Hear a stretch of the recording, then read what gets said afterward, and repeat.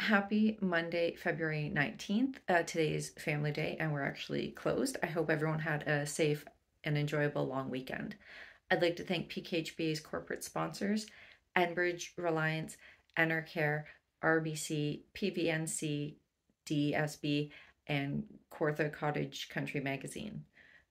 Uh, we had an amazing dinner last week with uh, Chris Magwood speaking about carbon in building. He is running Builders for Climate Action, and he shared his the beam tool that builders can use to see how much embodied carbon is in the products they're using and how easy it is to actually reduce your carbon footprint by changing up some products. Uh, the summary of that is in our newsletter.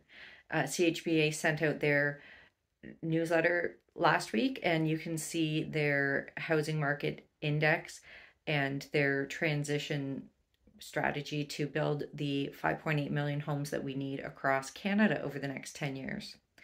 Uh, the construction statistics for the month of January shows there was a 10% decrease compared to the previous year. The uh, interest rates are continuing to keep new housing starts down.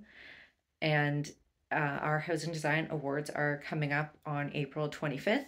Uh, you can actually buy tickets already at the PKHBA Awards website, and the submissions are open until March 1st. So get your submissions in. You've got two weeks left, and if you have any questions, please let me know.